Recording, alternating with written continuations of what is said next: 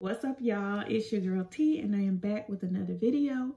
If you're new here, then welcome. If you're not, then welcome back. And in today's video, we are going to be going over things that you need to know or things that you need to do to start preparing for Black Friday if you haven't already. Now, I know this video is a little bit late, but it's better late than never, right? So I hope that some of these things that I talk about today can help you in your business or, you know, just remind you if you're already gotten started. Um, before we get started, please make sure you subscribe to my channel if you haven't already. Also, click that notification bell so that you're notified every single time I make a new post or video. And um, yeah, let's get right into it.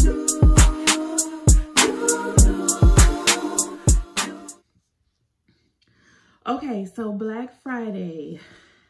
Black Friday is around the corner and I have to admit I was a little behind as well, but I'm kind of getting into the gear of things. And, you know, I'm like, what better thing to do than to go ahead and um, let all my stylish beauties know, my boss beauties, um, which are you guys know, what are some things that you need to make sure that you're doing so that you'll have a um, decent Black Friday as well. Um, one of the main things, now some of these things that I may talk about today, you may hear, you may have heard, or some of these things you may not have heard. This is just my viewpoint, and these are just some things that I learned throughout um, Black Fridays that I've done and just, you know, researching and over time. One of the very first things that you need to do to prepare for Black Friday is have a plan you need to have some sort of plan in order for you to have a successful Black Friday sale or any sale if that matter. It needs to be a plan. You just can't wake up one morning and say, hey, I'm going to do a sale or look over and see the next person doing a sale and say, oh, I'm going to do that exact same sale. No, it don't work like that. You really need a, a plan. And um, by plan, you if you wonder, I would say you need to have a goal a goal as far as um, a monetary goal, how much money you want to make for that sale. Um, you can also put down like if you're selling wigs, how many wigs you want to sell. If you have products, how many of each product you want to sell, um, tutorials, anything that you're selling, you want to make sure you jot down and be very specific on everything that you're going to have on sale, what you're going to have on sale, and how many of those items you need to sell. Um, you also want to know um, the type of sale. So you want to know there's different types of sales. So you want to kind of know if you're going to have a um, like a buy one get one sale or a um, give a free item sale or free shipping, free shipping over a certain amount sale. If you want to do a bundle deal sale where you're selling multiple things at, you know, at one low price, um, buy two, get one free. I think I said that, but that you, you can do exclusive, something that's only offered during Black Friday, but you definitely want to know all those specifics when it comes to planning out a strategy for your Black Friday, okay? Um, some of the things that I've done uh, to prepare for my Black Friday is, of course, do a little bit of research, especially if this is your very first Black Friday. Uh, you can use the hashtags on Instagram or even Facebook. Hashtag Black Friday wig sale your wig business um, or wig sales in general. Look at a couple different of your favorite wig makers, their sales that they've done previously for Black Friday look at the flyers, look at what they've done. And you can always mimic what someone else done in the past, especially if it worked for you. Now, if you've had a Black Friday before and your Black Friday went well last year, then it doesn't hurt to do a similar sale this year. You know, that's almost like um Bath and Body Works. They do their same annual candle sale every year. They don't really switch much up and everyone is geared up and prepared for the sale. So it doesn't have to always change every year. So if this isn't your first year, don't stress. If it worked last year, do something similar this year. But um if you are new, then look at what other people have done. That's okay. It's you don't have to reinvent the wheel. If something that they done looks good and it looks like it's something you could do, then you can do that too. So I know I said with um, Black Friday, you definitely want to have a goal, which is, you know, a monetary goal, which is important, but you don't want to focus so much on making a whole lot of profit during your Black Friday sale. And I say that because, you know, Black Friday is normally like the biggest sale of the year for any business. So if your items are priced correctly, then, you know, you may be taking a bit of a profit cut uh, you know, a little bit cut from your profit, but that's okay. Now you don't, you want to make sure that you're not losing money, but if you're not earning as much of a profit during this Black Friday sale, that's okay. You want to make sure that you're gaining more customers because you rather have a whole lot of order, a hundred orders making $10 profit per order, not 10, but I'm just, for example, over having five orders with $50 profit or something per order. You want to have more orders with the least amount of profit. More people will shop with you, especially being that, you know, you have such good deals. Now, when you think about whatever your sale and your deal is, you want to make sure that you look at it from a customer standpoint. Like, what would make me want to shop with me, with my company over other companies? Because the thing is, is you're not the only one gonna have a sale. Black Friday, everybody having a sale. All wig businesses, hair businesses, everybody's having a sale. Now, the thing is, is what's going to make that customer shop with you over everybody else. So, yes, you want to have a good sale. You don't want to just have a 10% off sale, 10% off. You know, you can get that when you subscribe to the newsletter or that can come year round or at another time. But 10% really isn't that big of a deal as opposed to, you know, other companies that may be offering a free gift with every item plus free shipping plus something else, you know, plus good deals on wigs. So make sure that whatever you decide to do for your sale, that it is worth your customer coming to shop with you, okay? Why would you want to shop with you? Not just, oh, because her wigs are nice. Make sure that the sale is an actual sale, okay? One of the things uh, that I noticed a lot of people are starting to do now, which is great, um, if you can and if you have the uh, money to do so, then you invest in your business. Go ahead and have your inventory in order and already on hand. That will put you ahead of other competitors right there alone because now your customer don't have to wait uh 7, 10, 15 days for a custom wig or any items or pre-sale items because they know when they place their order that they'll be getting their order shipped pretty soon so especially with the holidays coming up. Um, christmas will be right around the corner. A lot of people want their items kind of quick. So if you can prepare to have your inventory, a certain amount of wigs on hand, go ahead and have those on hand. Now, when it comes to having inventory, not don't just think about just having your wigs on hand.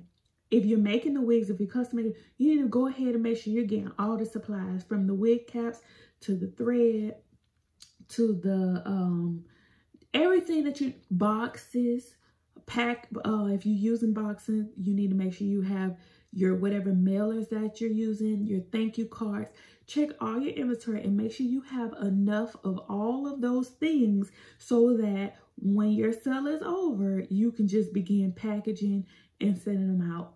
And that's that. So having your inventory will be great if you're able to. If you're not, it's okay. You can still get some of your packaging supplies and um, just make sure if you are going to do the pre-order system that you put in the description, um, you know, you put in the description how long it's going to take for your customer to receive that item so that they know and you're not getting a whole lot of emails asking, oh, I placed my order on Black Friday. When is my wig shipping? When is my wig shipping?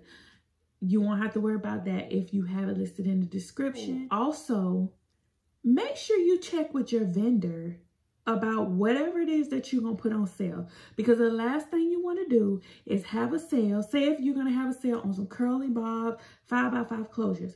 you have that sale on Black Friday, you mark those wigs down, and it goes so well, you sell 15 of those 5 by 5 curly bob wigs. And then you go to, if you're doing pre-order, and you go to make an order from your vendor, and your vendor say, I'm sorry, we're out of 5 by 5 curly bob closures. Guess what? What are you going to do? Are you going to refund all your customers? Because now your customers don't pay for something and you need to fulfill their orders and you didn't make it aware, you know, make it clear with your with your vendor as to what you're um, putting on sale, how many you need, and do they have more than enough in stock? Because the same way you could be having a sale on that, somebody else could too. And if they place their order before you, and when their vendor get ready to fulfill your order and they don't have everything, then it's just gonna suck for you. So you want to make sure that that doesn't happen to you. So if you can, have your inventory on hand. I believe that's why I feel like a lot of people are having their um, hair or wigs on hand now because, you know, with the lace shortage is going on right now, it's just kind of scary. And that has happened to me before where I, a certain wig was out of stock and I had already had to sell. I had already had so many people order it. I just had to contact all the customers and give them a free upgrade of uh, closure size and they were definitely fine with that. But, you know, I took even more of a loss during a sale. So my profit was, you know, little to none. But hey, that, that's that's how business go. You know, you don't always win. You lose some. So that's that. Oh, another thing would be if you don't already have this, which I have a detailed video on it, have some sort of buy now, pay later option on your website that will definitely guarantee to give you some sort of sale, at least one or two sales. I know me, I have Shopify and I've done a whole video on Sezzle and um, I'll leave the link below if you haven't used Sezzle. I'll leave the link to that video, which is all about Sezzle, as well as I have a little referral uh, code that you can use uh, for signing up for Sezzle. And Sezzle is great um, it's a way that your customers, if they don't have all the money up front, especially for wigs, because wigs are high ticketed items, that they can just pay a certain price that day during Black Friday. You'll get all your money. And um, yeah, you can fulfill their orders. And so they have more than just Sezzle. They have Quad Pay. You can sign up for multiple uh, um, different ones and have those available. You know, it's always good to have more options over none. Okay. You want to make sure that you're hyping up your sale. Hype up your sale at least two weeks before Black Friday. You can't wait till three days before. You give your customers enough time to, um, I mean, they're already going to know. Like the 1st of November, you can let them know, hey, are y'all ready for Black Friday sale? It's November, whatever, whenever it is. Hype it up, especially them, them two weeks um, before Black Friday you want to make it sound like it's going to be the best sale ever. Now, it don't matter if your sale ain't all that. You let them know my sale is all that, okay? You want them to be anticipating the day that they, you open up that, you know, sale and they get on there and shop, okay? So two weeks before. Don't wait too late. So get on it now. Um, I'm going to go back to marketing. So for um, marketing, you definitely want to have some sort of plan when it comes to marketing. If you're going to do email marketing, you need to go ahead and have your emails scheduled out, drafted out, how often you want your emails, what you want them to say. That goes with hyping up that, um, you know, hyping up that sale. If you don't have an email list, you need to go ahead and try to figure out Get your email uh, list going now. Have people sign up so they can receive emails from you because I'm telling you, that is one way to get to keep some money coming in as well because people don't always have their phone and just you know and scroll it or with the Instagram algorithm you may be scrolling and you may miss um you may miss somebody's post but if you got the email set up they're guaranteed to get an email sent to their uh phone and they can check it and remember, oh yeah, she having a sale. Uh, text, text messaging marketing is another great, great, great strategy when it comes to um, getting to the customers and reminding them about the sale. So if you need to do text message, that's great. Um, Facebook, Instagram ads, if you're familiar with those, then you can do some of those. Um, if you do, my suggestion would be uh, if you do any ads, don't go through Instagram. You Instagram, you want to go through the Facebook, um, the Facebook ad manager on Facebook, and that's where you want to get very specific and um, you know, kind of gear all of your ads to go towards. That'll help you. Um, you want to do any type of um, tutorials like little short Instagram tutorials showing different styles with your wigs. Uh, you want to do any kind of brand awareness. You just want to put yourself out there. If it had been any time before for this whole entire year that you've mentioned your business, now is the time to mention your business and get on people's nerve and put yourself out there that, hey, this is my business. This is what I sell. And I'm having a good sale Black Friday, okay? Because Black Friday is the time where, yes, you want to gain new customers, but if you're already establishing your business, you want all those old customers to come back and start shopping with you. Um, again, you know, you want them to buy something else from you during that time, another wig or whatever it is. And any new customers, you want to build that trust with them prior to Black Friday so that they will uh, feel like, okay, I'm going to shop with them. Building that trust that could be um, reviews, any reviews that you have. Screenshot the reviews. Make, publish those reviews. The reviews normally seals the deal on any type of sale. Think about it. Before you buy something, what's the first thing you do? Well, for me, I know I'm going to check a review. So uh, post out those reviews, videos. Videos do way better than pictures. A lot of times people want to see you wearing your stuff, not just on a mannequin head. Uh, they tutorials on how they do this. You want to be able to show, especially if you're selling wigs, that, hey, this is exactly what it's going to look like when you get it. Let me show you if you order this wig during Black Friday. Is you want to make sure that your website is Black Friday ready. And by that, I mean, you just want to do a run through on your website to make sure that everything you have your, um, procedures, policies, and um, shipping times. You have all of that in place. You want to make sure that you, when you click on everything, you click on your collections, your FAQ, your contact with us, all of that. You want to make sure all of that is workable and clickable and it doesn't lead to nothing because, you know, anybody new, they're going to click through your site. And if anything is not working right or looks shady, they're not going to shop. So definitely do that. Also, during this time, you want to make sure that you um, you want to make sure that you have a tab or somewhere that you're putting all of your Black Friday sale items. You don't want to have your Black Friday stuff all over your website. Like you want to um make sure that your Black Friday stuff, all they got to do is click one place in a, collection. If you're using Shopify, you can create a Black Friday collection. Under that collection, everything that's going to be on sale is right there one click.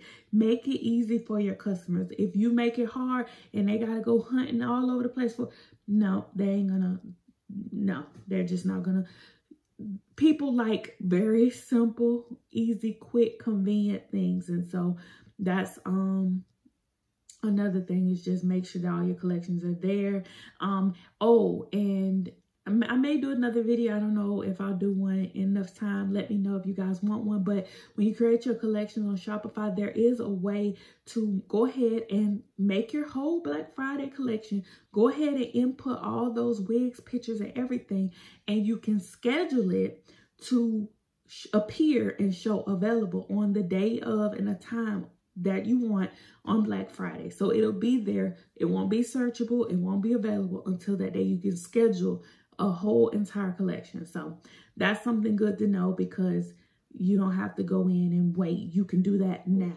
Like I said, don't stress yourself about about Black Friday. If this is your very first Black Friday, you know, do what you can and that's okay.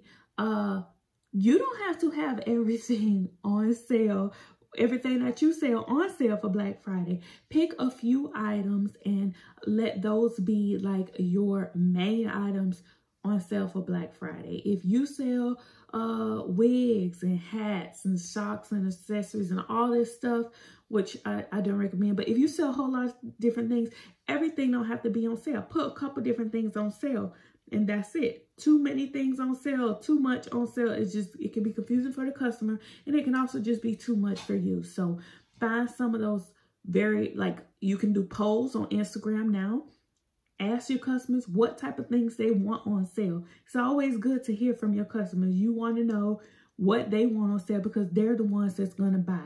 Don't just choose things that you want on sale because it's not the sale isn't for you, it's for your customers. So um definitely use that. Find interesting different ways to advertise. When you do have your flyers made you can have flyers made from um, fiverr. That's like a very affordable place and they have a pretty quick turnaround time on um, getting a flyer back. Get you a couple different flyers made so that you can put a flyer um, of course, in your email campaigns, you also want to, you know, have flyers for your social media. And, um, yeah, just, just spread your name and um, do what you can. Don't stress about Black Friday. Um, it's just another sale day. So, you know, some people get so caught up in it or feel like they have to do what the next person do. Don't focus on trying to have the same sale as the next person, like the exact same sale, because what works for them or what's their goals, that's for them. You can look and see and get ideas from other people's, but people, but don't try to keep up with somebody else. Okay, so just do what you can for yourself, and um, you know, just it, you're gonna learn from this sale regardless whether you make a sale or you you make you know 20 30 sales that day um it'll it'll all be successful it'll be at least you did something. At least you prepare and you'll know for next year. Whatever you that didn't go well this year you'll know and you'll learn from next year. So um yeah i believe that's all i have for you guys when it comes to black friday tips. If you have anything else um that you would like to add you can drop those in the comments. I do try to read you guys' comments and um I see some of you guys like, you know, interact with each other. You know, we're all in this together as wig makers and wig businesses, and we all learn, you know, what things that I learn, I share with you guys. And, you know, if you learn anything, I love for you guys to share with me. So, uh, yeah, I hope this video helped. Please make sure you give it a thumbs up if it did. And, um, yeah, share my videos. Make sure you're subscribed, and I will see you in another video. Bye, y'all. broken. No, no.